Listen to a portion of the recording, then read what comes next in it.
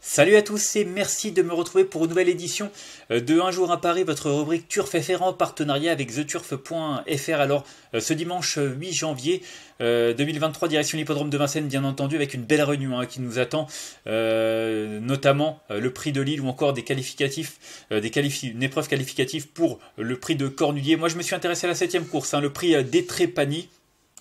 Vous le voyez, pour des chevaux de 5 ans, des in n'ayant pas gagné 100 000 euros, euh, une épreuve de qualité et 11 concurrents qui vont en découdre sur 2700 mètres grande piste. Euh, voilà, déport prévu vers 17h.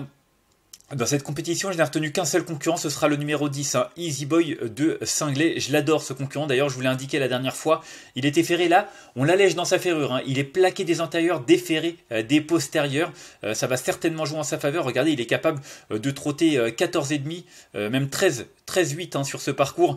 derrière Inshot Jocelyn Instructor, c'était vraiment un très bon lot. Et il était ferré. Euh, du coup, euh, le fait d'être euh, allégé dans sa ferrure, ça va certainement lui donner un petit peu plus de marge. L'engagement est vraiment favorable. Je trouve vraiment qu'il a un lot à sa portée. Hugues Montulé le connaît parfaitement. Il s'en sert également très très bien. donc voilà, à mon avis, il ne devrait pas sortir du podium. il y a vraiment un lot qui a sa portée, même s'il y a quelques concurrents de qualité. Et je pense qu'il est tout à fait capable de, de, régler tout le monde. Donc voilà, ce sera le conseil de jeu de ce dimanche 8 janvier 2023. Donc en réunion 1 le 710 Easy Boy de Cinglé a joué de mon côté 1 euro gagnant et 3 euros euh, placés.